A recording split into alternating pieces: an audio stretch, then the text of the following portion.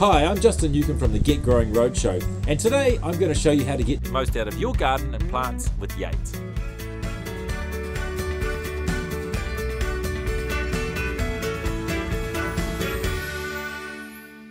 Well, a lot of people have been asking about the best way to do a new lawn from scratch.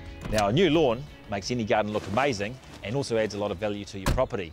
But the first step is to prepare the ground. To start, we have to put some retaining walls in. Then we need to get rid of all the weeds, bring the topsoil, then I will show you how to lay the seeds.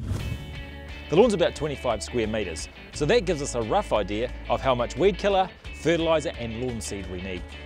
I'm using a weed killer that's designed for large areas. Half a litre makes 125 litres of spray. It's rain fast in two hours and kills weeds and unwanted grass, roots and all. One of the most important things is to wait for a nice dry day to let the weed killer do its thing. Once the weeds are dead, it's time to move on to the next stage, which is to put in the edging. Retaining walls will keep the soil intact when it comes to gardens with different levels. No matter how perfectly cropped your lawn may be, it'll end up looking sloppy if you don't pay attention to the edges. Well, I've got two and a half cubic metres of lawn mix delivered, uh, so that's sand and soil mixed together. That means we'll be able to put 100 mils right across the top, which is perfect if you're laying a brand new lawn. Great. All right, so what we'll do is pile all the soil into the middle and then start raking it out to the edges. That way we make sure that the middle is nice and high and no water will pool up there. So the lawn should be nice and, and free draining all the time. And then once we've done that, we're ready to fertilise. Now don't forget that grass is also a plant. So plants are all about the soil. If you make the soil amazing, you'll end up with an amazing lawn.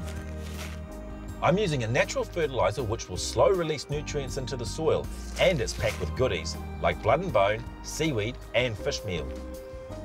Now if you're working to a ratio, like I'm trying to use half a bag on this whole lawn, don't be too heavy handed because you can always go over the surface again a second time. Now before sowing the grass seed, divide the area into manageable sections around about a square metre. Then sow evenly east to west and then north to south to make sure you've got an even spread over the whole area.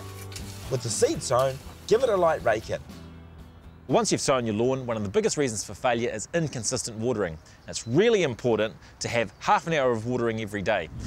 And with plenty of water and some sunshine, we can expect a beautiful lush lawn here in a couple of weeks.